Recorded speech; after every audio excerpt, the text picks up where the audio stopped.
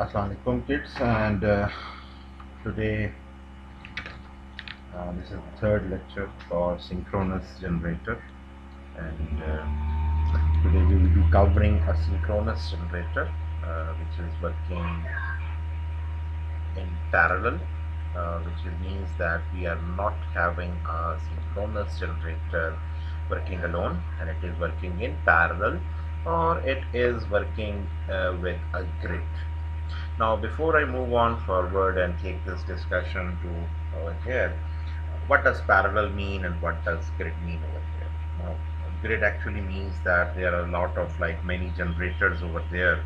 So maybe I have a generator at uh, Mangla and then I have a generator at Tarbela and then I have a generator at Kapco or maybe in fact couple of generators over there. And then at maybe at Hubco or maybe Japan Power or anywhere. Uh, there are many private and IPPs independent power producers I hope uh, you know this abbreviation as well. Uh, some days back I shared a, a small picture of the power being produced in Pakistan at present.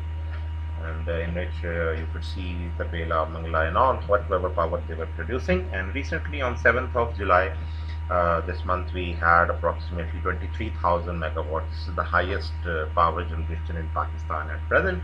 And certainly 23,000 megawatts of power cannot be produced uh, by one single generator or maybe one entity. So the total generators in Pakistan they are dispersed overall in the whole of the Pakistan.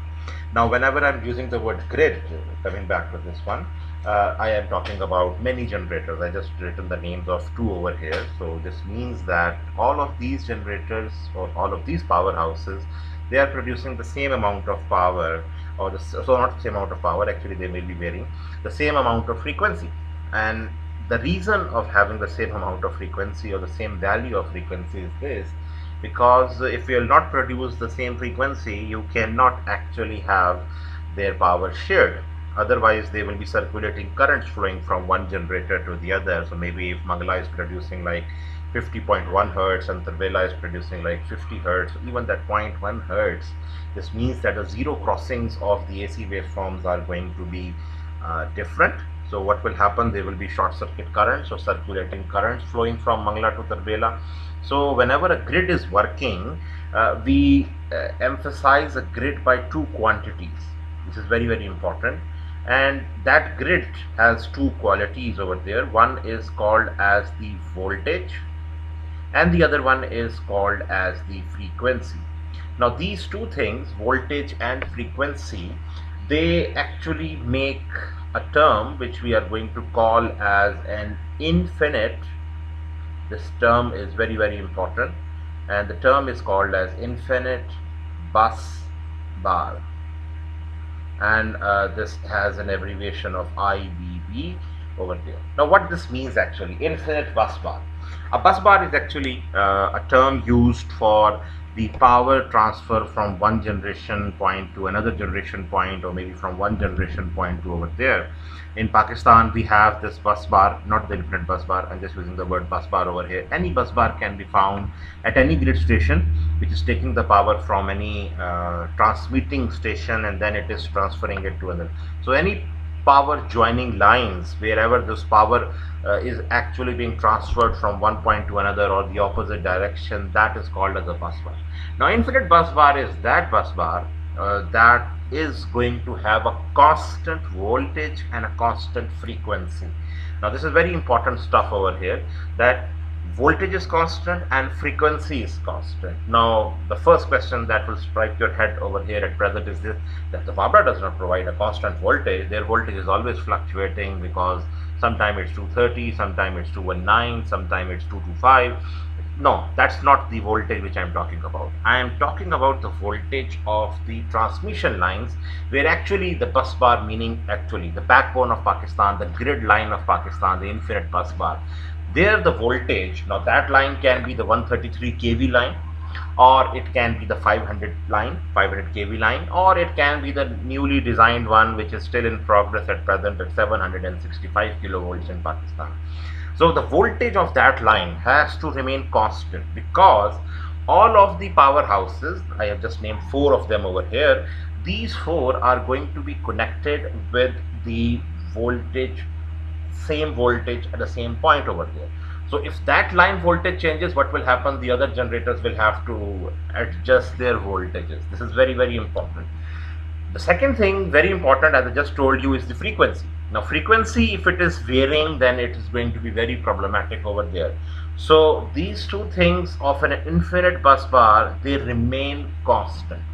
They remain constant, which means that the voltage and the frequency, they will not change even if Mangla goes out of the equation or even Tarbela also goes out of the equation. It will remain at the same voltage level and the same frequency despite whatever changes happen on the grid.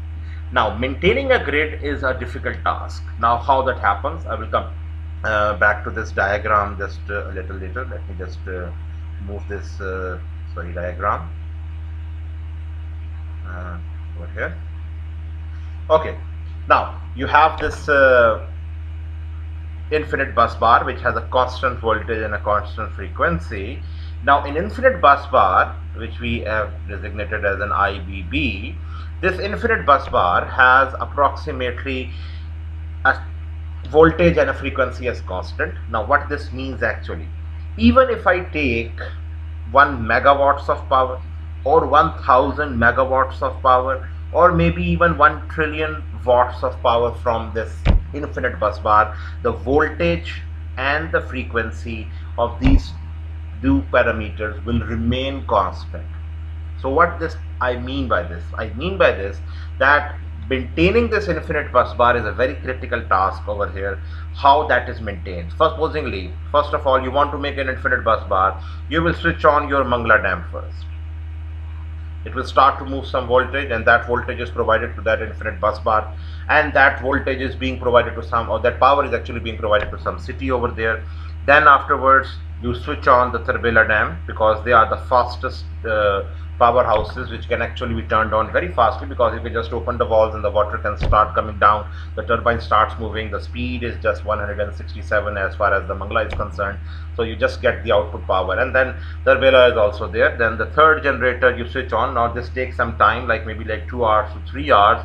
So any powerhouse at Kapcatco or generators uh, they are gas uh, stations. They are this is a private entity Kapco so what they will do that they will take some time to maintain that pressure of the gas or whatever. So it will take some time.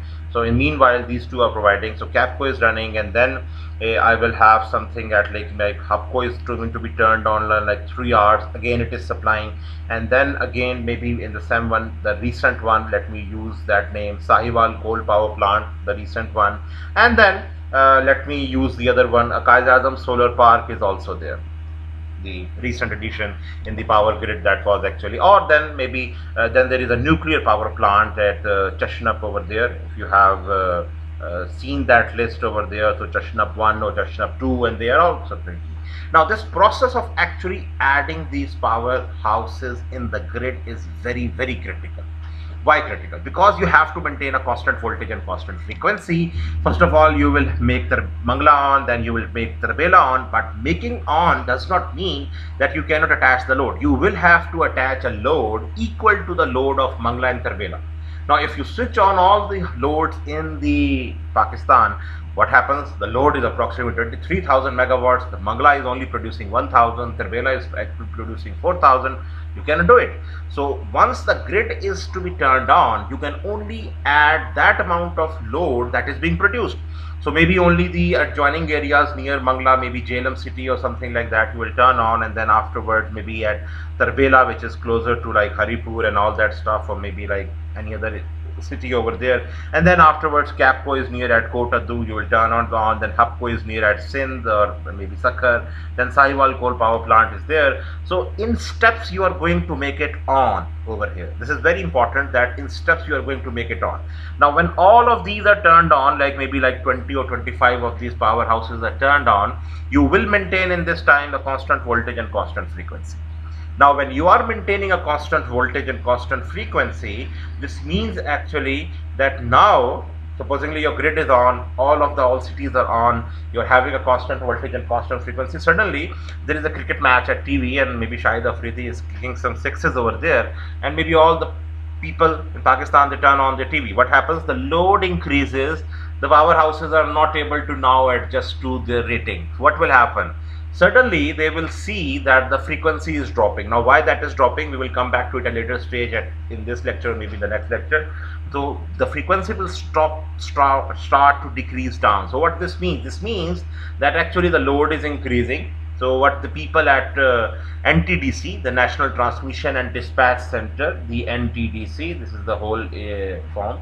So NTDC people will know, okay, they have uh, the power is dropping. So what they will do, they will soon call the Lahore grid stations. There are 80 grid stations in Lahore. They will ask one of the grid stations, okay, turn off that power, turn off that feeder or turn off that line. So the load is reduced.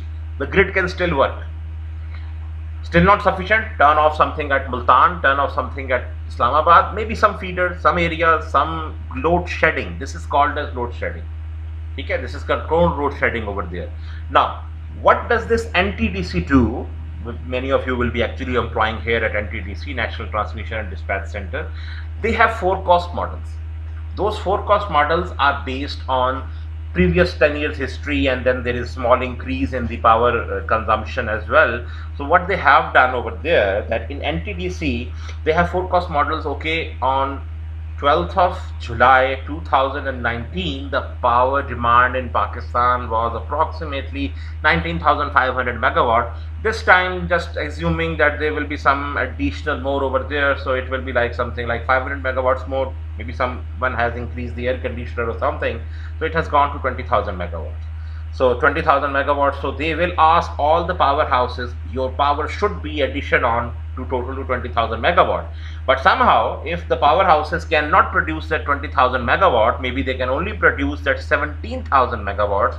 So that remaining deficit of 3,000 megawatts will be completed by load shedding.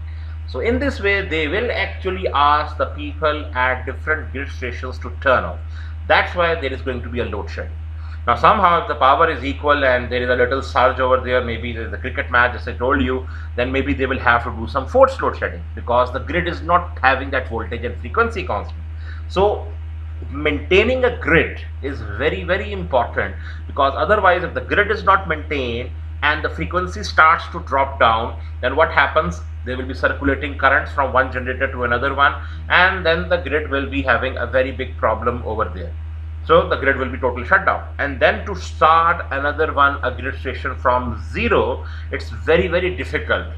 So an infinite bus bar or an IBB should have a voltage and a frequency constant. So that's why I don't know how many of you still remember this. Maybe you were a little small at that time. This was approximately 26 September 2010 if I'm not wrong, maybe 2010 was actually the date. This was the point at which Pakistan actually suffered one first major shutdown.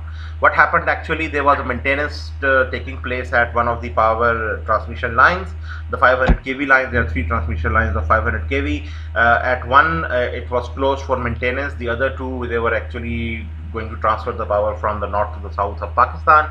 So what they were doing, uh, the wrong signal was given to the maintenance staff over there and before any transmission line can be repaired or any person can uh, climb those towers or pylons what they actually do uh, they are going to tap it down so that there is any energy stored inside those conductors of the transmission line because they are inductors they can store some energy. So they tap it down to the ground so that any charge stored is tapped to the ground. So what they do actually so by mistake they turned on the tapping for the working line on which the whole Pakistan was working so what happened? All the energy from all the power stations then was directed towards the ground, the earth. And then eventually what happened, because earth can sink a large amount of current eventually. So what happened? Eventually the frequency which was at 50 hertz or maybe like 49 point something, it started to decrease down just in like two or three seconds maybe like three or four maximum. I was actually seeing in like incandescent bulb at that time. In fact i had those frequency charts over in fact a logging was done being at my lab. So 50 hertz it went down to like 15 20 or it started decreasing down and eventually in like five or six seconds it was total off. All the relays and all the protective system tripped. All the power generator houses they tripped because it was an excessive power demand. So what happens? Every generator was tripped in pakistan now this happened something at approximately if i'm not wrong at 9 or 10 am in the morning now this time when it tripped Mangla and Tarbela can be turned on very fastly, as I told you, because it's just a water turbine. You can have the water flow. But for Kapco, Hubco, Sahiwal, coal power, Sahiwal was not at that time, but uh, many other powerhouses, even nuclear power plants, they cannot be turned on instantly. This is very big problem. So they this whole process at this date actually took approximately 12 hours minimum for the whole grid to be restored. Now they did it in parts. They did it in parts somehow that maybe first of all the Lahore some areas were illuminated then afterwards some in Islamabad some strategic places in somewhere in Islamabad Rawalpindi and then Multan then Karachi was totally aloof of it. Karachi was totally cut off because there is a Karachi Electric Supply Corporation over there which is handling those powerhouses over there. Karachi has a different scenario apart from this whole country. So um, the whole country was in blackout at least for 10 to 12 hours. Now I'm not asking or not telling you those far flung areas where the power was totally cut off and it approximately took like 18 hours to actually power was restored for all those places. And this is the main problem that grid they require constant monitoring so that the voltage and the frequency can be maintained constant over there. This is very very important stuff. So when a constant voltage and frequency has to be maintained, you have to take a check that what is the power produced, what is the power consumed, that equation should be equal to each other. If they are not equal to each other, you will have a problem over there and then they will be catastrophic. All the powerhouses will be turned off. So I hope now this concept of infinite bus bar or IBB with a constant voltage and frequency is clear. Okay. Now, when I am talking about an infinite bus bar. Now let's go on towards our synchronous generator, which we talked about in the previous lectures also. Uh, before I move on towards the uh, synchronous generator, let me show some curves over here. These are very, very important curves. I have uh, on this side over here a turbine. Uh, this is the characteristic curve of a turbine where from 0 to power P can be taken out from a turbine so this power can be taken off from a turbine and since turbine is not an ideal device, okay, turbine is not an ideal device, we know that this should be, let me just uh, make it by another color, we know that if this is the speed of our turbine, there should be a straight line. It should be a straight line. This is very important. Ideal. This is the ideal line. But what happens? It's not a straight line.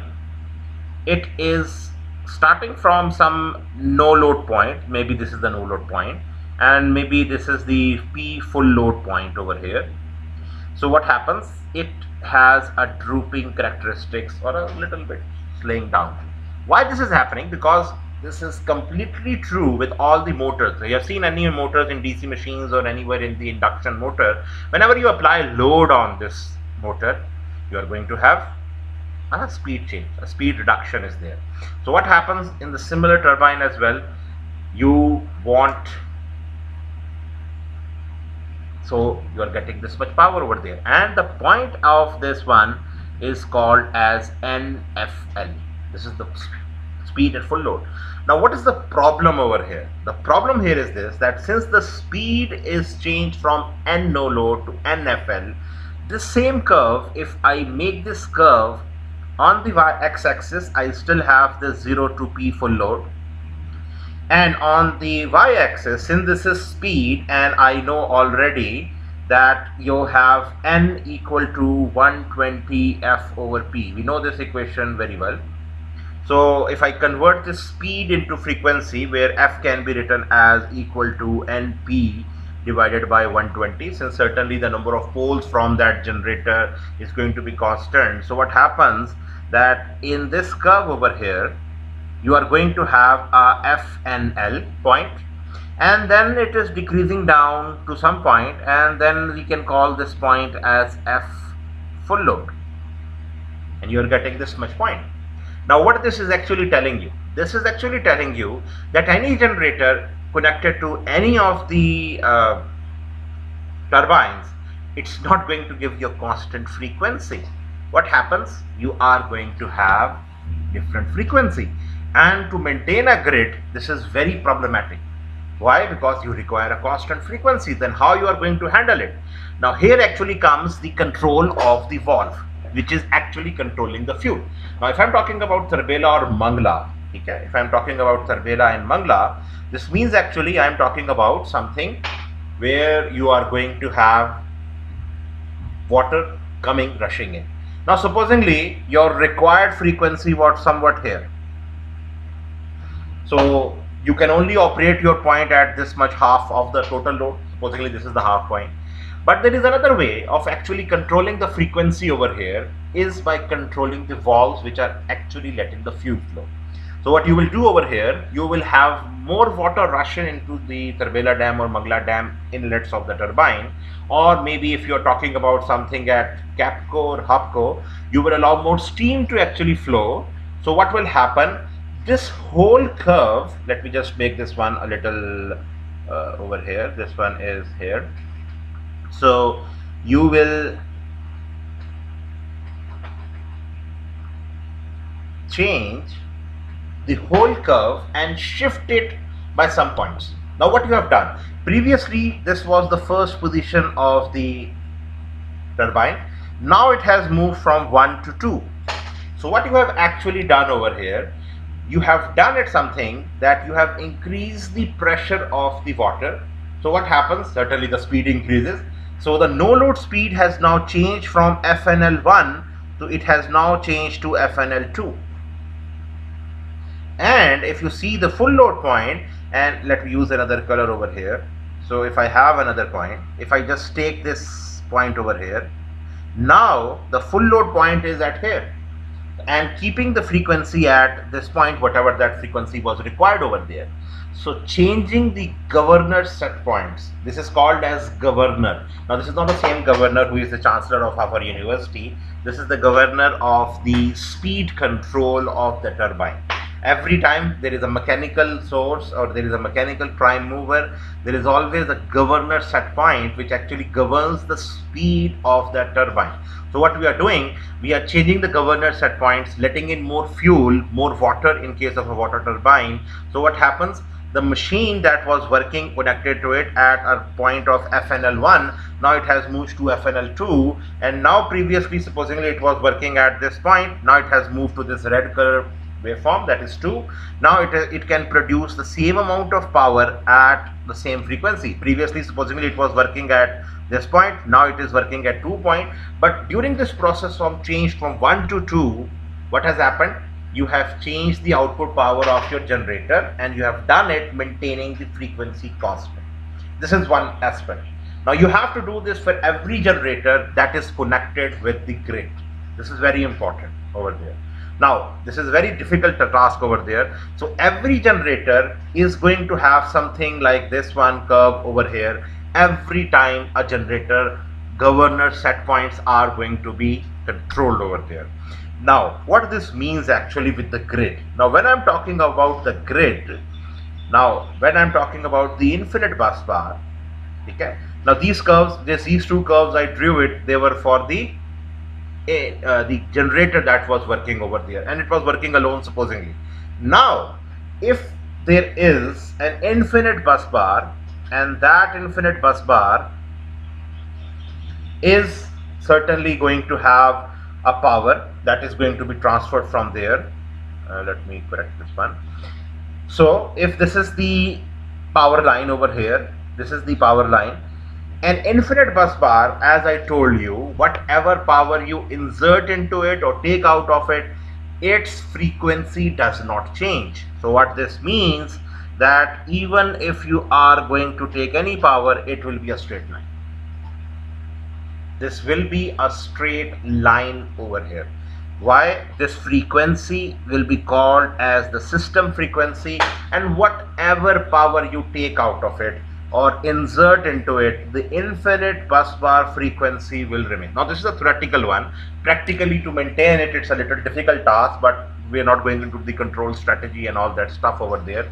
But this actually means that your power from any infinite bus bar, you feed into it or you take into it, it will still remain the very same. Its frequency will not change okay this means and if, you can change a large sum of power from it or you can take a large sum of power from it this and the frequency does not change this means that stability of your system or your grid is actually very good. Sadly in pakistan it's not that very good because there are many many factors. We don't even have the power uh, equal to our demand. Then we have some different powerhouses different and there is a variation of the fuel also. We have hydel also we have steam also we have coal also we have nuclear also. As contrary to many of the uh, western countries maybe in europe which are like if you take on france over there it has a lot of nuclear power stations. In russia we also have a nuclear power stations and a lot over there. Hydel is also there in Russia, but still nuclear is also still a lot amount of power over there. In Pakistan, the nuclear is not more than like 1100, I guess, or 1200 megawatts of power. If I'm not wrong, maybe like 1500 will be the maximum. But nuclear power plants, they have a little problem of uh, maintaining their controlled strategy because of the nuclear fissile material over there. Anyway, coming back to our point. Now, how power is actually shared with an infinite bus bar? This is very important. I will draw this again curve over here. And you have this curve over here. And on the y-axis I have this frequency. This is the frequency. On the left side over here I am going to call this one as the infinite bus bar. And here this is generator number one which I want to connect with my infinite bus bar over there. Now as I told you that whatever power you take from an infinite bus bar or you take from it it's going to be a constant line over here. So it's going to be a straight line over there. Now you want to have generator number one so that generator number one can actually give some power to the infinite bus bar.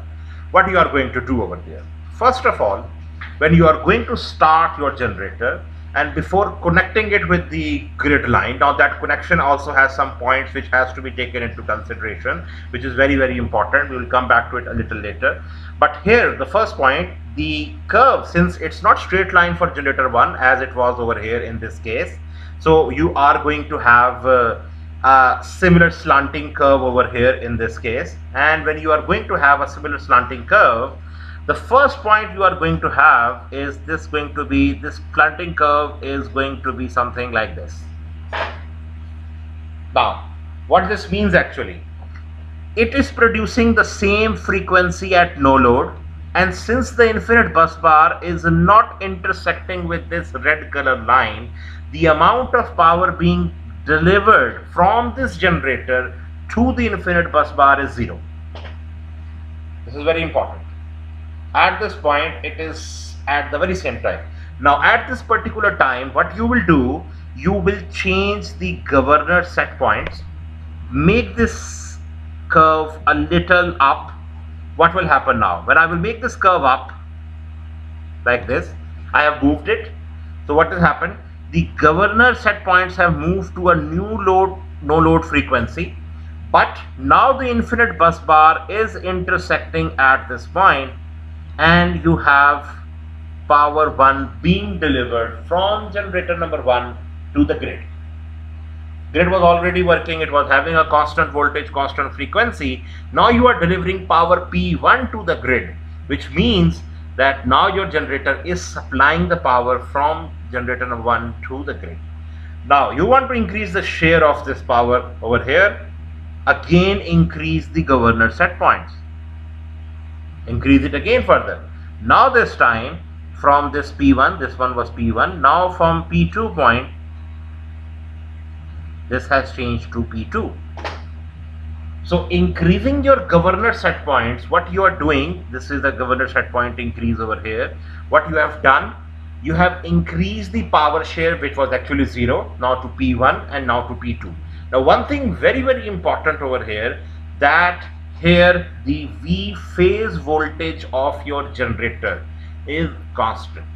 V phase of your generator is constant and it is the same value which is being provided from the infinite bus bar. Now, how will you show this on the phasor diagram? This is very important over here. Now, when I move on towards the phasor diagram, how I will show this one.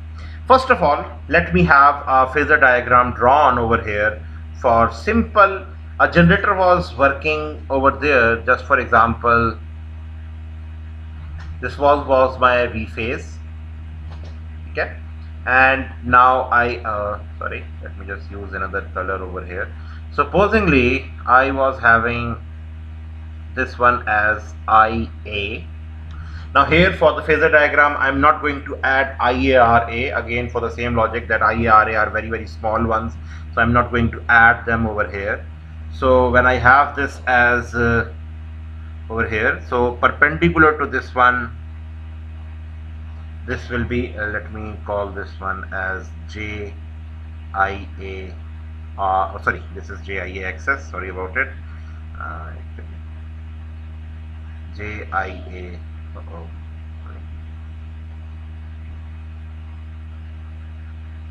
JIA XS. And then the last but very important one vector this is this is my EA vector with delta angle over here. Now this is uh, having its y-axis point and this is certainly proportional to supposedly P1 this is the same P1 which was at this point okay. Now how I am going to increase this same power working at the grid? Supposingly my power was delivered equal to P1 now I want to increase it to P2 how I am going to do it? Now here if you remember previously when a generator was working alone what you did over there you changed the value of V phase over there now this time you are not going to change the value of V phase because this is going to be connected with the grid. That cannot change. This is very very important. Okay? And about EA it can also not change. The reason behind it is that simply that you are going to have a constant excitation which means the field current being provided that is responsible for producing the flux phi or that is responsible of producing EA its same. So what happens now this time again I will make that uh, small arc over here like this.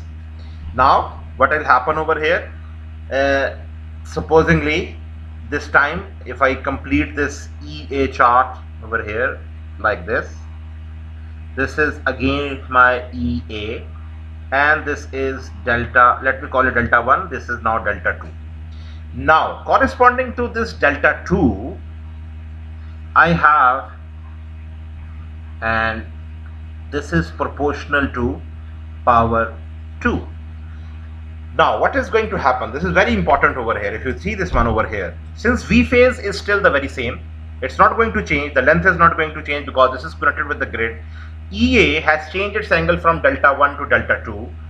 So the last vector which has to be completed over here, this will be completed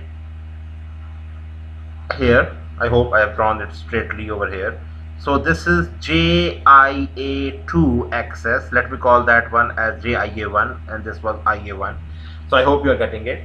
Now what is happening that your JIA1 XS vector it has increased. So certainly this means that IA1 will be increased to IA2 now. But the problem here is going to be that this time since this IA1 was here and you got at 90 degrees this IA1 XS now you have JIA2 XS over here. So perpendicular to this IA2 axis at something point here like this. This one is going to be your IA2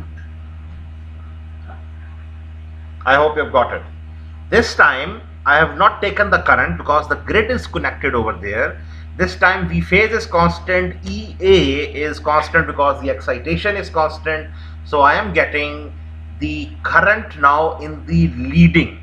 This is very important. The current has now gone in the leading category this is very important. The current has now gone in the leading category. And what this means this is very very important thing now. When it has gone in the leading category this means that this angle is now theta 2 over here. And what this means when the current is leading this means that it is providing P which means P2 is being provided. But as far as Q2 is provided this is negative over here which means that the generator is absorbing reactive power. This is very important point. The current is leading, which means it's a generator. It's producing power. So it's producing P, but it is absorbing Q over here. Now, this one was P1, this one was P2 let me take another point over here that corresponds to P3 and I will take this point keeping in view.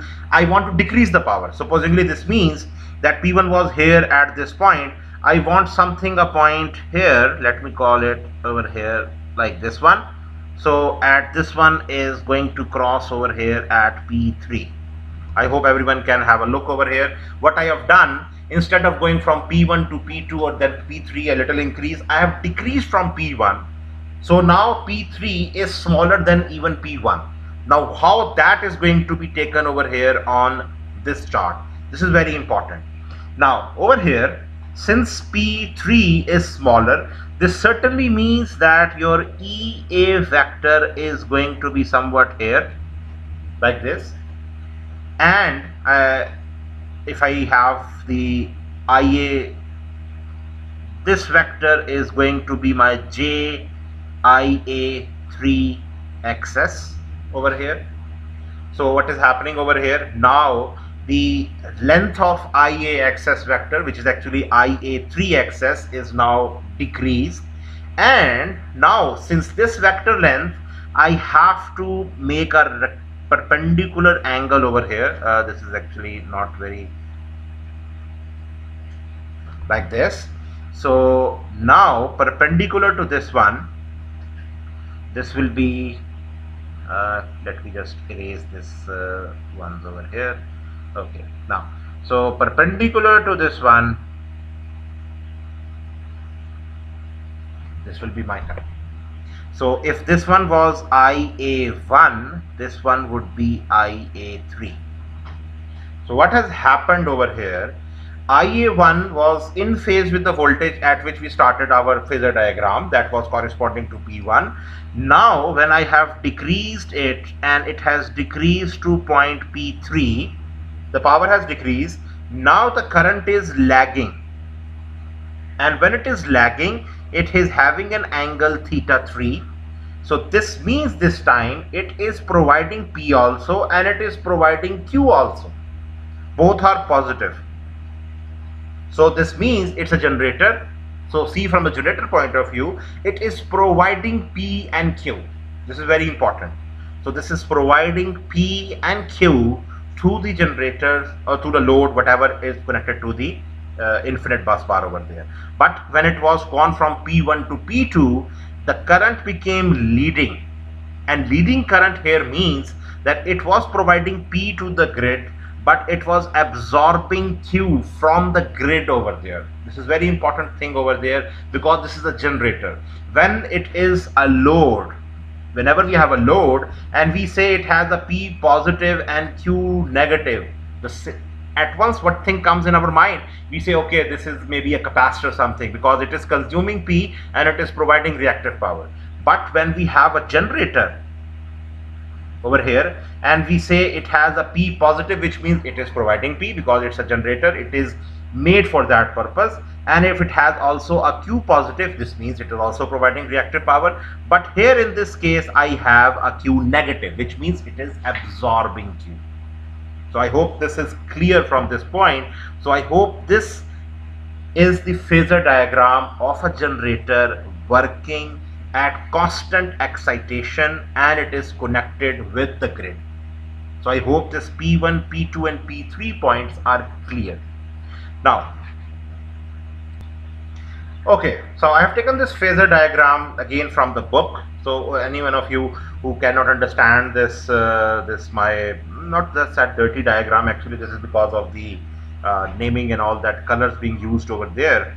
So this is the same phasor diagram. You can see there is PG1 there is PG2 and then there is PG3 over there and it has a totally different current over there. You can see then there is IA dash double dash then there is IA dash and then there is IA and certainly this is decreasing from PG3 to PG2 to PG1 and if you see this one on the infinite bus bar you can see a straight line. This is the infinite bus bar point over here. And these are the three points. You can see PG1 is exactly very very small. Then there is PG2 and then there is PG3 so by changing the governor set points over there, you are changing the load that it can actually deliver to the infinite bus bar, keeping the voltage constant, which is actually V phase of the generator. This is very, very important over there. Now I will just concise my lecture over here up till this point. Please understand this thing. This is from article 4.9. 4. Article 4.9 is still not complete. I have only discussed over here that how a generator changes its power orientation when it is connected with the grid keeping the excitation constant. Next time or the next lecture i'm going to discuss about how a synchronous generator it is connected with the grid how you can change the reactive power. This is very important over there. Generators are never meant for reactive power but there we will talk about that how you can change. Because over here what we have done you have made over here by leading current over here and you have made it q2 negative now you don't want Q2 negative. Why? Because you are absorbing Q and that is a wastage. You are wasting the power taking from the grid. So you don't want it. Whenever there is a generator working, our favorable condition is it that P is positive and Q is zero.